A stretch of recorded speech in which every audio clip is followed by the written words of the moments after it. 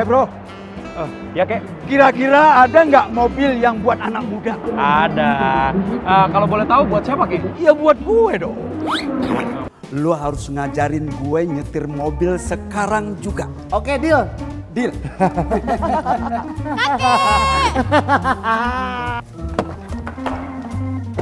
Pak Broto, saya itu bawa koper yang lebih gede. Sekalian saya mau beliin istri saya mobil Ayla.